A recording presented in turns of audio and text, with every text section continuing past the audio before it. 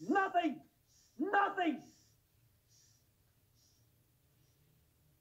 And you people have to tear him down so you can sleep better tonight? So you can prove that the world is flat and sleep better tonight? Am I right?